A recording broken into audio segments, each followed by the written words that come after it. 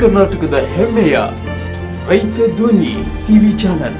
ಎವರಿಗೊಂದು ಭರವಸೆ?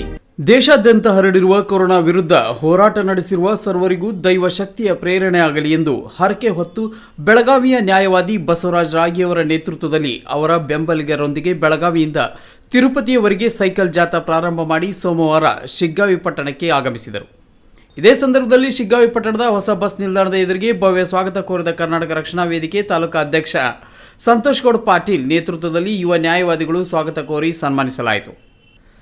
ಸನ್ಮಾನ ಸ್ವೀಕರಿಸಿ ಮಾತನಾಡಿದ ಬೆಳಗಾವಿಯ ನ್ಯಾಯವಾದಿ ಬಸವರಾಜ ರಾಗಿ ದೇಶಾದ್ಯಂತ ಹರಡಿರುವ ಕೊರೋನಾ ವಿರುದ್ಧ ಹಲವಾರು ಮಹನೀಯರು ಹೋರಾಟ ನಡೆಸಿ ವಾರಿಯರ್ಸ್ ಆಗಿ ಸೇವೆ ಸಲ್ಲಿಸುತ್ತಿದ್ದಾರೆ. ಅಂತವರೆಲ್ಲರಿಗೂ ಇನ್ನೂ ಹೆಚ್ಚಿನ ಪ್ರೇರಣೆ ಸಿಗಲಿ ಎಂಬ ಉದ್ದೇಶ ಮತ್ತು ಕೊರೋನಾ ವಾರಿಯರ್ಸ್ಗಳಿಗೆ ತಿಮ್ಮಪ್ಪ ಆರೋಗ್ಯವನ್ನ ದಯಪಾಲಿಸಲಿ ಎಂದು ರಸ್ತೆಯುದ್ದಕ್ಕೂ ಸೈಕಲ್ ಜಾಥಾ ಜೊತೆಗೆ ಕೊರೋನಾ ಜಾಗೃತಿ ಕಾರ್ಯಕ್ರಮ ಮಾಡುತ್ತಾ ಈ ಜಾಥಾ ಕೈಗೊಂಡಿದೆ ಎಂದರು. ಈ ಸಂದರ್ಭದಲ್ಲಿ ಯುವ ನ್ಯಾಯವಾದಿಗಳಾದ ಎಸ್ ವಿ ಕಟ್ಟಿ, ಮಂಜುನಾಥ್ ಹುಳ್ಳಿಕೊಪ್ಪಿ ಸಂಜೀವ್ ಹಂಚಿನಮನಿ ಹಾಗೂ ಸ್ಥಳೀಯ ಪೊಲೀಸರು ಉಪಸ್ಥಿತರಿದ್ದರು. ಹತ್ತು ವರ್ಷ ಆಯ್ತು ಪ್ರಾಕ್ಟೀಸ್ ಮಾಡ್ತಾ ಇದ್ದೆ. ಭಾರತ ತುಂಬ, ತುಂಬೆಲ್ಲ ಕೊರೋನಾ ವೈರಸ್ ಈ ಥರ ಹಬ್ತಾ ಇದೆ ಅಂದರೆ ಇಡೀ ಜಗತ್ತೇ ಒಂದು ಮನುಕುಲ ನಾಶವಾಗೋ ಪರಿಸ್ಥಿತಿ ಬಂದಿದೆ.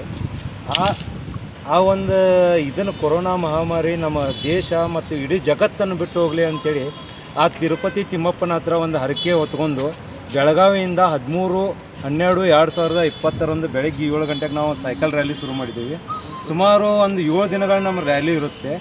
ಆ ರ್ಯಾಲಿ ಅಲ್ಲಿ ಏಳ್ನೂರ ಎಂಬತ್ತು ಕಿಲೋಮೀಟ್ರ್ ನಮ್ಮ ಜರ್ನಿ ಇರುತ್ತೆ. ಮತ್ತು ನನ್ನ ಪ್ರಕಾರ ನಾ ಇಷ್ಟು ದಿನ ತಿರುಪತಿ ತಿಮ್ಮಪ್ಪಗೆ ನಡ್ಕೊಂಡಾಗ ನನಗೆ ಏನು ಅನ್ಕೊಂಡಿದ್ದೆಲ್ಲ ಸಾರ್ಥಕತೆ ಆಗಿದೆ. ಇದು ಹಂಡ್ರೆಡ್ ಪರ್ಸೆಂಟ್ ಸಾರ್ಥಕ ಆಗುತ್ತೆ. ಕೊರೋನಾ ಮಹಾಮಾರಿ ಭಾರತ ದೇಶ ಬಿಟ್ಟು ತೊಲಗುತ್ತೆ ಅಂತೇಳಿ ನನ್ನ ನಂಬಿಕೆ ಇದೆ. ಇಷ್ಟು ಹೇಳಿ ನಾನು ಮಾತು ಮುಗಿಸ್ತೇನೆ